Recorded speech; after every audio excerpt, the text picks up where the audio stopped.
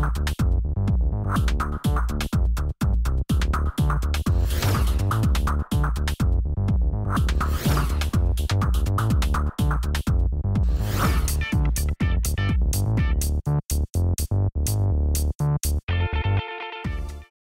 Hello and welcome to another exciting episode of Smart Pigs. Now, many farmers are faced with the challenge of keeping their farms pest and disease free. While it may sound simple in theory, the reality is that it's not. In a previous episode, we talked about internal parasites and how they can affect farmers. On today's episode, we will talk about external parasites and how they can affect your pigs. Joining me is Dr. Edward Kariuki. Karibu Daktari. Thanks a lot. In a previous episode, when we had you back on last time, we talked about internal parasites. And you mentioned that a parasite such as roundworms comes from feeds, right? That comes from feeds. So what about external parasites? Where do they come from? It's good to have me once again, and uh, we'll continue learning a lot about external parasites. They are present in the environment, so the challenge is pre- preventing them from getting from the environment or from other animals to the pigs that we are rearing. So mm, maybe uh, from dogs, if a farmer you've got dogs at home, if you have sheep, if you have goats, these are potential sources of external parasites to the pigs. So you have to control the external parasites from other animals and even in your homestead so that you control them even getting to our pigs. Now, Daktari, in another episode that we talked about internal parasites, Yeah. you mentioned that parasites such as roundworms can be gotten from the, simply the type of feeds that a farmer can give to their pigs. Mm-hmm. What about external parasites? Where can you find them? When we talk about external parasites, usually we have them in the environment, in the homestead, with other animals, say dogs, say goats, say cats, even cattle. So uh, these are the animals that are a source of parasites, even to our pigs, or just to the environment. So if we are able to control the parasites in these other animals, then as well, even in the pigs, we'll, we'll have managed them. So they are in the environment, they are in our homestead, and uh, pigs will easily get them if you let them out or you, if you mix them with other animals. So we have them in the environment. It's whether we control them that makes the difference. Now, Daktari, how many types of external parasites are found in pigs? And which are the common ones that affect the Kenyan pig farmers? In our common farming setup, we have a range of external parasites that, that uh, infest our pigs. Most important, I think, are the mites. Also, we'll find fleas, we'll find lice, might find ticks. Flies also are a very common one, and we tend to overlook flies. But yes, they are external parasites, and they can be a nuisance. Some others do bite, and they are also an important uh, thing to consider. Yeah. Let's talk about mange. Now, there are many times where I've gone to a pig farm, and one name that keeps coming up during the challenges is mange. Where does mange come from? Mange is generally infestation with mites.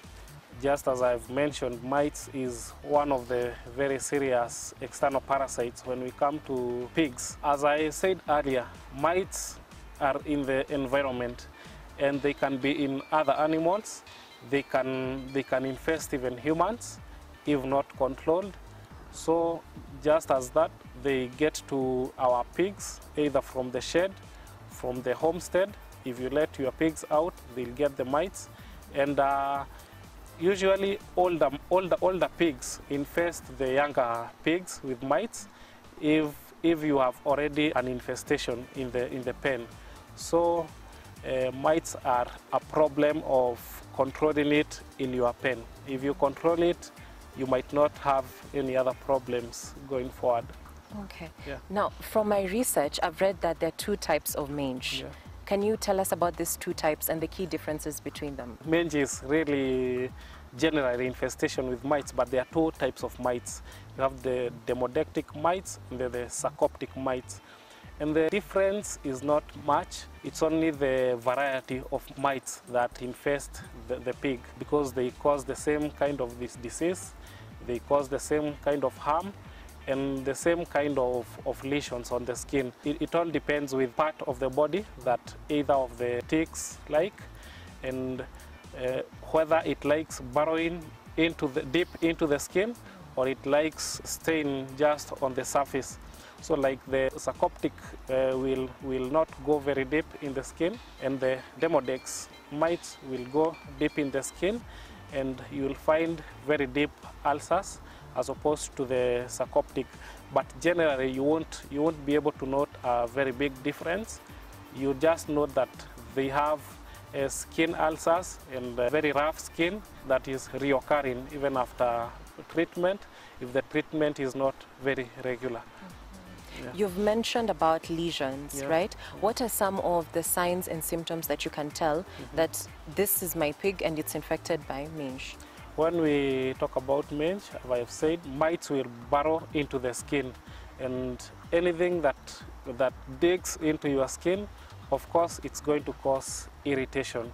With that irritation, the, the, the pigs will want to scratch themselves to the wall of the pen.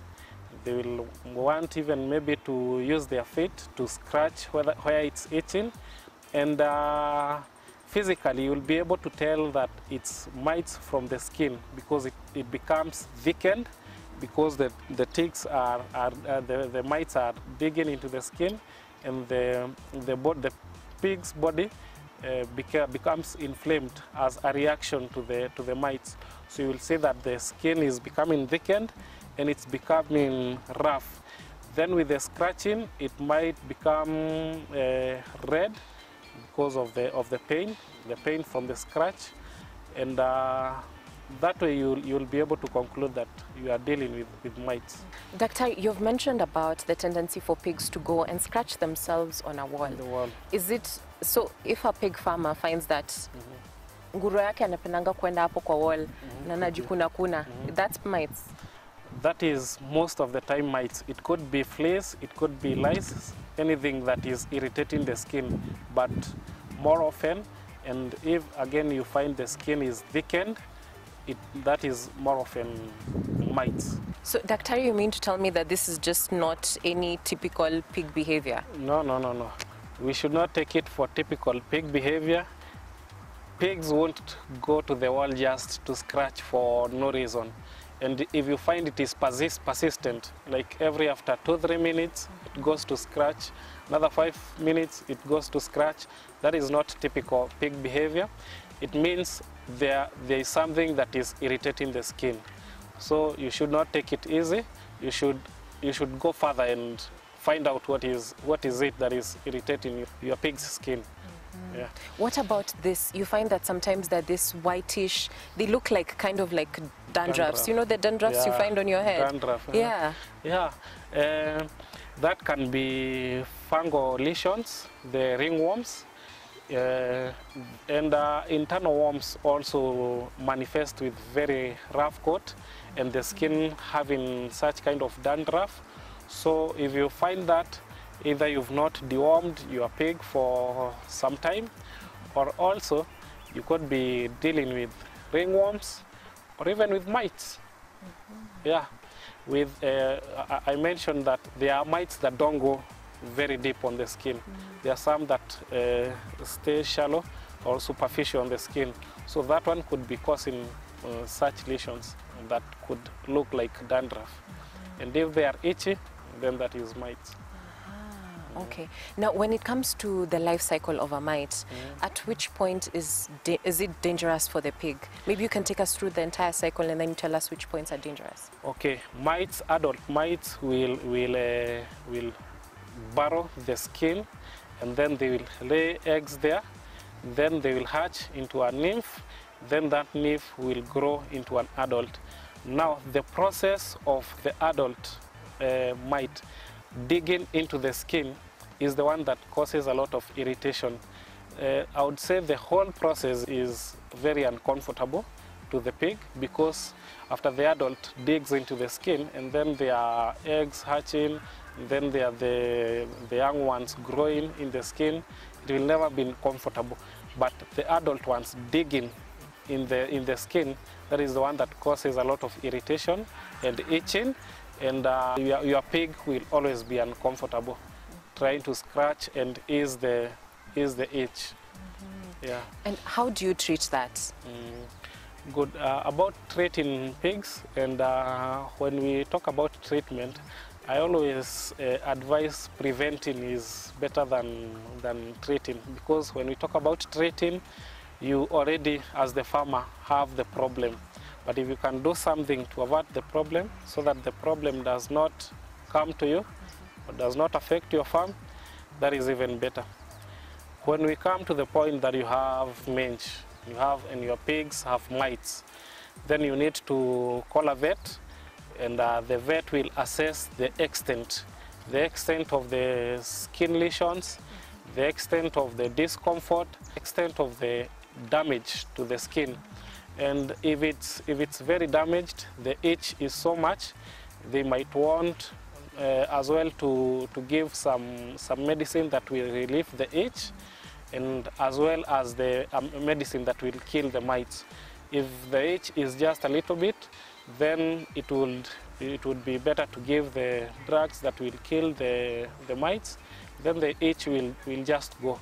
So there are specific drugs, there are, there are some that you can pour on the skin and they will kill the mites, but uh, there are also others that you inject and it, it goes throughout the whole body and it will kill the mites that are all over the, the skin of that animal. -hmm. Yeah.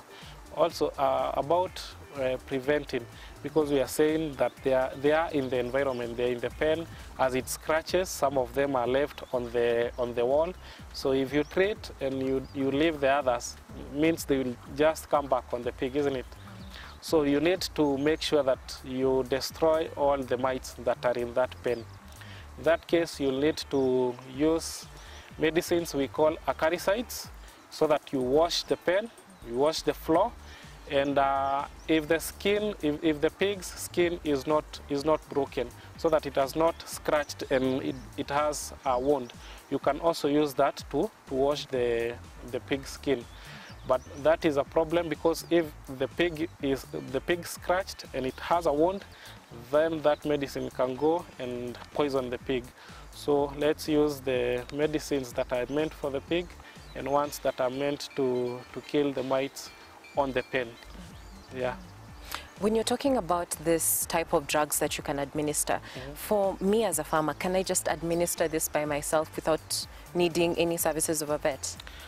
Uh, when we talk about uh, the particular drugs called ivermectins that are used to kill the mites, they are, you, the, the, farmer, because they are not experienced, could cause uh, overdosing, which can come with problems, or underdosing, which will also come with problems. So in this particular case, I will encourage the farmer, let, the, let a vet, let a qualified vet, come and, and manage that because a qualified vet will also know whether that animal requires some medication to relieve the itch on the skin, which the farmer might not be able to assess or to, to treat effectively. That is quite insightful, Daktari. But we have to take a short commercial break. When we come back, we'll learn more about external parasites and how you can control them in your farm.